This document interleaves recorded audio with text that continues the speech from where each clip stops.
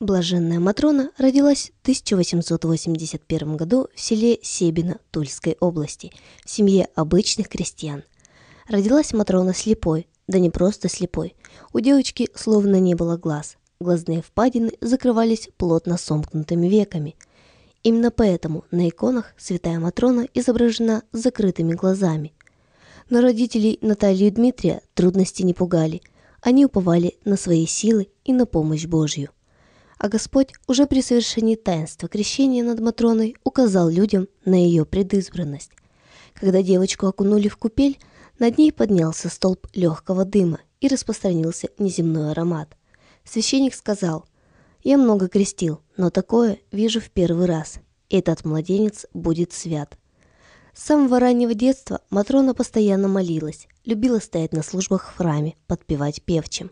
С 7-8 лет у Матронушки открылся дар предсказания и исцеления больных.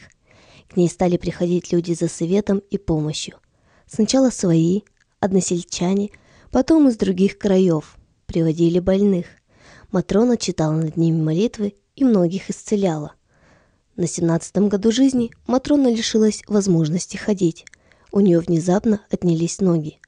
До конца жизни она была сидячей, но никогда не роптала из-за своего недуга, а смиренно несла этот тяжкий крест и радовалась миру. Она умерла 2 мая 1952 года – была похоронена на Даниловском кладбище. Могилка ее впоследствии стала одним из святых мест православной Москвы. 30 апреля 1998 года по богословлению святейшего патриарха Московского и всея Руси Алексия II гроб с честными останками блаженной Матроны был припровожден в Московский Покровский женский монастырь. В 2004 году блаженная старица была причислена к лику святых. 23 января в храм иконы Божьей Матери Умиления прибудут мощи Святой Матроны, которым можно будет поклониться и попросить о помощи. К Матроне принято приходить с цветами. После освящения лепесточки можно заварить в чай, добавлять еду, носить с собой и прикладывать к больным местам.